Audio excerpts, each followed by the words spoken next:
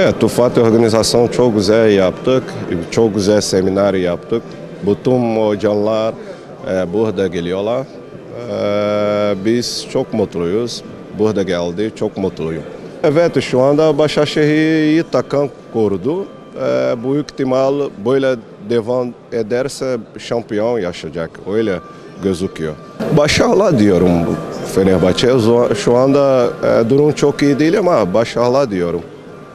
Evet, çok yetenekli oyuncular var. Ee, şu anda gerçek onlar çok iyi oynuyorlar. Ee, bence e, kısa zaman büyük dışarıda yurt dışı da gidebiliriz, gidebilir. Çünkü gerçek çok yetenekli oyuncular. Milli takım e, şu anda e, çok çok iyi gitmiyor ama e, Lucescu tecrübe bir teknik direktör. E, sonra inşallah toplanacak ve bon şans söylüyorum.